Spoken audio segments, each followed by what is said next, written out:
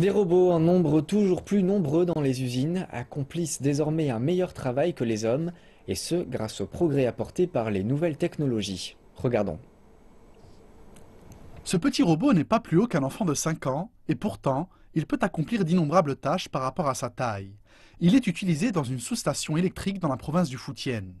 Ses yeux sont en réalité de minuscules caméras pouvant détecter des signaux infrarouges émis par les différents équipements de l'installation, et ses oreilles sont de minuscules microphones capables de détecter les anomalies des machines.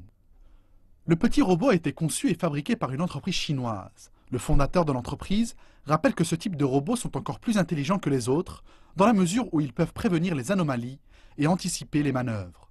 Les nouveaux modèles sont capables de concevoir leur propre circuit, de distinguer les différents types d'équipements, voire même d'accomplir des travaux de soudure. Ce robot est capable d'accomplir le travail de trois soudeurs tout en maintenant une qualité identique et il peut bien sûr travailler 24 heures sur 24 sans s'arrêter dans des conditions parfois dangereuses. Les sociétés spécialisées dans la conception de nouvelles générations de robots industriels profitent actuellement d'un environnement politique favorable au développement des nouvelles technologies. Le Conseil des affaires d'État chinois vient de publier jeudi dernier une série de nouvelles directives encourageant fortement les progrès dans l'industrie robotique.